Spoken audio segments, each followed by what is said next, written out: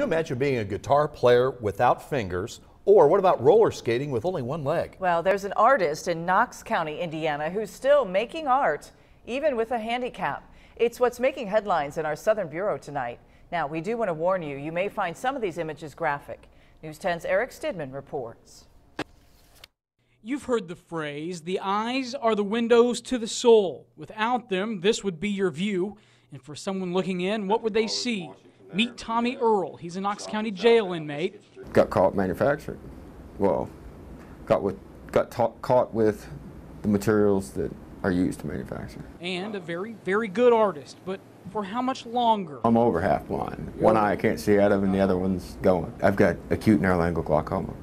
Eventually, I'll be completely blind. Words hard to swallow for this jailhouse Picasso who can barely see. So how, how do you do this then?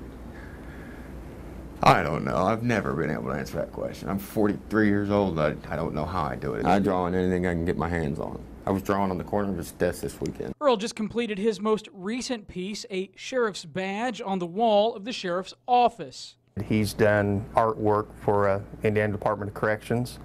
And now that he's here in our facility, we're utilizing his talents to uh, refurbish our admin side and touching up the jail side. The labor is free and the paint is paid for out of jail commissary money, which means the taxpayers aren't picking up the tab either. You know, there's probably a rumor out there that you run a pretty tight, pretty tough jail. We- People know that. We try to. But uh, in doing so, though, we have to realize that these people are inmates and eventually will go back into society. Which is reason enough to let these inmates exploit the positives in their lives. I turn on the music, and it doesn't matter if I'm painting a star, if I'm painting a big, it could be a big black circle. If that's what I feel like painting at the time, it really doesn't matter.